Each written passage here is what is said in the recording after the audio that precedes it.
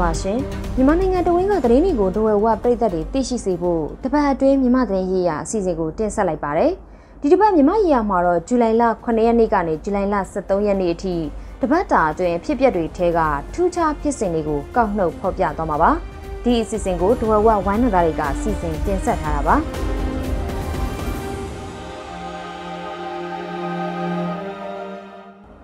စစ်ကောင်စီကောင်းဆောင်ဗိုလ်ချုပ်မှုကြီးမင်းအောင်လှိုင်အာဏာစွန့်ပြီး ရွေးကောက်ပွဲအတွက်လမ်းဖွင့်ပေးနိုင်မဲ့ကြားဖြတ်အစိုးရတရက်ကိုဖွဲ့ဖို့တရုတ်အစိုးရကပြောဆိုလိုက်ပါတယ်။တရုတ်နိုင်ငံသားရေးဝန်ကြီးဝမ်ယီက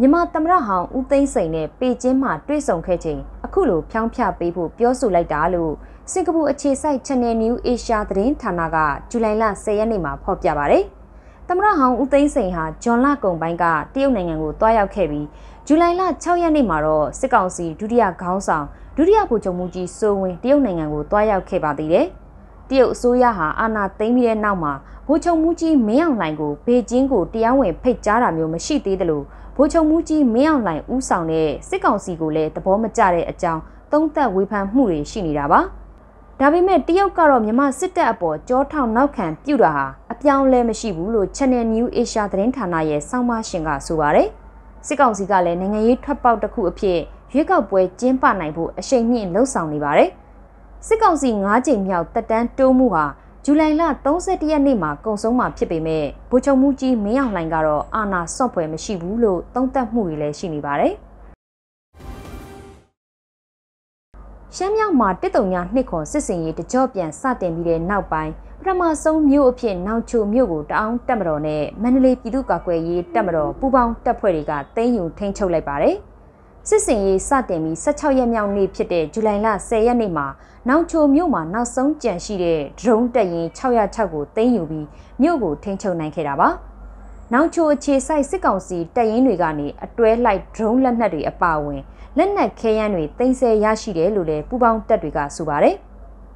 ရှမ်းမြောက်ကလာရှိုးကြောင်မဲမိုးမိတ်တီဘောမြို့နယ်တွေနဲ့မန္တလေးတိုင်းတွေကမတ်တရာမိုးကုတ်စင်ကူစတဲ့မြို့နယ်တွေမှာတိုက်ပွဲတွေပြင်းထန်နေပြီးတော်လိုင်းရေးအဖွဲ့တွေဘက်ကစခန်း10နဲ့ချီသိမ်းယူထားပါတယ်။တိုက်ပွဲတွေကြောင့်လာရှိုးမိုးကုတ်မြို့နယ်တွေမှာစစ်ဘေးရှောင်တွေပိတ်မိနေတယ်လို့တိုက်ပွဲတွေအတွင်းအရက်သားထိခိုက်ဒေဆုံးမှုကလည်းမြင့်တက်တက်မြင့်တက်လာပါတယ်။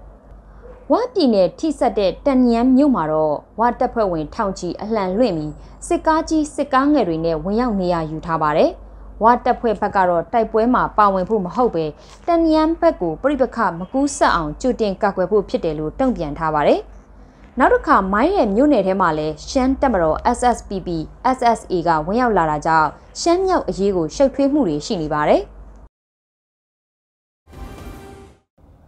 ပြည်တွင်းကပုဂ္ဂလိကဘဏ်တွေမှာငွေသားထုတ်ယူခွင့်ပမာဏကိုကန့်သတ်ထားတာကြောင့်ငွေထုတ်ယူမဲ့ပြည်သူတွေစီးပွားရေးလုပ်ငန်းလုပ်ကိုင်သူတွေအခက်အခဲကြုံတွေ့နေရပါတယ်။အခုဇူလိုင်လဒုတိယပတ်အတွင်းမှာပဲငွေသားထုတ်ယူမှုကိုကန့်သတ်လာတာဖြစ်ပါတယ်။အရင်က special အကောက်ရှိသူတွေကိုငွေသားလူတလောက်ထုတ်ခွင့်ရခဲ့ပေမဲ့အခုချိန်မှာတော့အကန့်အသတ်နဲ့ပဲထုတ်ခွင့်ရပါတော့တယ်။ရန်ကုန်ကဘဏ်တွေမှာဆိုရင်ငွေသားကျပ်သိန်း10ကနန်းပဲထုတ်လို့ရတော့တယ်လို့ငွေထုတ်ယူသူတွေကိုကိုးကားပြီးပြည်တွင်းသတင်းတချို့မှာဖော်ပြပါဗျ။ ချင်းငွေကိစ္စနဲ့ပတ်သက်လို့ပုဂ္ဂလိကဘဏ်ခုနှစ်ခုကိုအရေးယူမယ်လို့စစ်ကောင်စီကထုတ်ပြန်ပြီးတဲ့နောက်မှာပြည်သူတွေစိုးရိမ်ပြီးငွေထုတ်ယူရာကနေငွေသားထုတ်ယူမှုကိုကန့်သက်လာတာလို့သတင်းတွေကဆိုပါတယ်။တိုက်ပွဲတွေကြောင့်ဘဏ်တွေငွေသားစီစဉ်မှုနည်းလာတာကလည်းဘဏ်တွေငွေထုတ်ပေးဖို့ခက်လာတယ်လို့ဖော်ပြပါတယ်။ဘဏ်တွေဘက်ကတော့ငွေအဝင်ပေါ်မူတည်ပြီးငွေထုတ်ပေးနေပေမဲ့ငွေထုတ်သူများလွန်းတာကြောင့်ငွေသားရှားပါလာလို့အကန့်အသတ်နဲ့ပဲထုတ်ပေးနေရတာလို့တုံ့ပြန်မှုတွေလည်းရှိနေပါတယ်။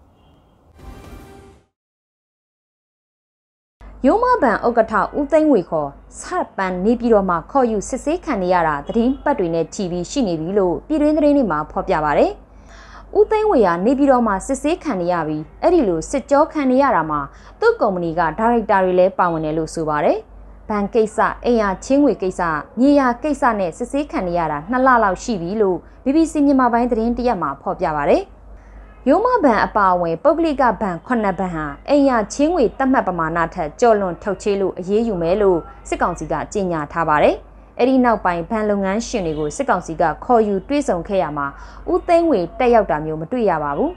။ရုံးမဘဏ်အုပ်စုကထုတ်ပြန်ရမှာတော့ဦးသိန်းဝေဟာနေပြည်တော်မှာရှိနေပြီးဗဟိုဘဏ်နဲ့သက်ဆိုင်တဲ့အာဏာပိုင်တွေမေးမြန်းမှုကိုပူးပေါင်းဆောင်ရွက်နေတယ်လို့ဆိုပါတယ်။ဒါပေမဲ့ရိုးမဘန်ဒါရိုက်တာတွေကိုထိမ့်သိမ်းမေးမြန်းခံရတာမရှိဘူးလို့ ဘန်ဘက်ကညင်းဆိုထားပါတယ်။ဦးသိန်းဝေဟာတော်လန်ရေးအဖွဲ့တွေနေပြည်တော်ကိုမတိုက်ရင်ရပြီဆိုတဲ့ပြောဆိုချက်ကြောင့်ဝေဖန်ခံရသူလည်းဖြစ်ပါတယ်။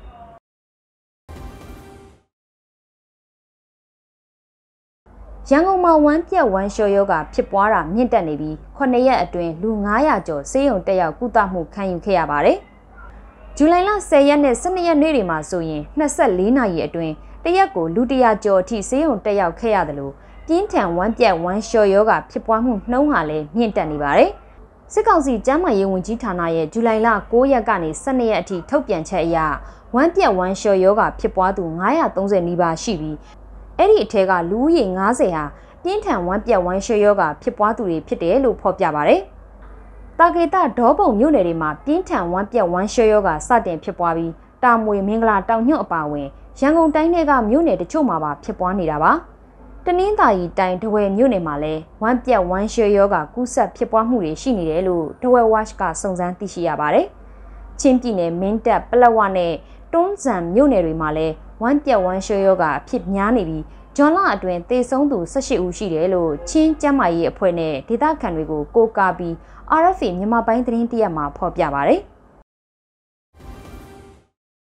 တိုင်းနယ်ပြည်နယ်၄ခုကမြို့နယ်20နီးပါးမှာမြစ်ရေဟာစိုးရိမ်ရေအမှတ်ထက်ကျော်လွန်နေပြီးရေဘေးအန္တရာယ်ရင်ဆိုင်နေရပါတယ်။စကိုင်းတိုင်းထဲကမြို့နယ်10ခုမန္တလေးတိုင်းထဲကမြို့နယ်4ခုမကွေးတိုင်းကမြို့နယ်3ခုကချင်ပြည်နယ်ကမြို့နယ်1ခုတို့မှာအေယာဝတီချင်းတွင်ဒုထဝရီမြည်ရည်တွေဟာစိုးရိမ်ရည်အမှတ်ရဲ့အထက်ကိုကျော်လွန်ရောက်ရှိနေတာလို့မိုးစလကဇူလိုင်လ23ရက်နေ့မှာထုတ်ပြန်ပါတယ်။စကိုင်းတိုင်းထဲကဖောင်းပြင်နဲ့မော်လိုက်မှာဆိုရင် စိုးရိမ်ရည်အမှတ်ထက်10ပေကျော်လွန်နေတာဖြစ်ပါတယ်။ကလေးဝမင်းကင်းဟုံးမလင်းမြို့နယ်တွေမှာလည်းစိုးရင်ရီအမှတ်ထက်9ပေကနေ6ပေခွဲအထိကျော်လွန်နေတာဖြစ်ပါတယ်။ရေဘေးကြောင့်လူတောင်းချီဒုက္ခကြုံတွေ့နေရတယ်လို့လမ်းမဆက်သွယ်ရေးပြတ်တောက်လို့စားနပ်ရိက္ခာပြက်လက်တာစိုက်ခင်းတွေပျက်စီးတာတွေလည်းကြုံတွေ့နေရပါတယ်။